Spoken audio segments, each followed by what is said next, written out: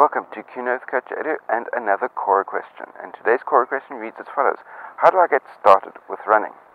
CoachEdu.net. Like and subscribe for more. The very most important factor as far as getting started with running is making the decision with your in yourself to get started with running. And then after that, get a pair of shoes on your feet, comfortable fitting clothing, out the door, and head off and start running.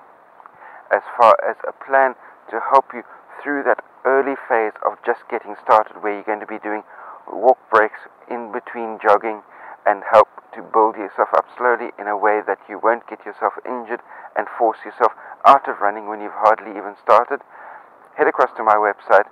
There's a link down below this video as well where you'll be able to download an absolutely free program for you if you're just starting out to just help you getting going and starting off on your running journey. 100% absolutely free. It'll take, and the program will last you um, approximately three months. And by the time it gets to the end of the three months, you'll be able to run for 30 minutes without stopping, 30 minutes without taking any walk breaks, and then you'll be on your way set up to a lifelong journey of injury free running. That's my take on the matter personally. Let me know what you think. Post your comments, questions, criticisms in the comment section down below this video. Give this video a thumbs up, share it out amongst your friends. If you're new to my channel, hit the subscribe button that's down there. And last but not least, remember that until the two of us meet again, stay carved up for the win. See you next time. Cheers.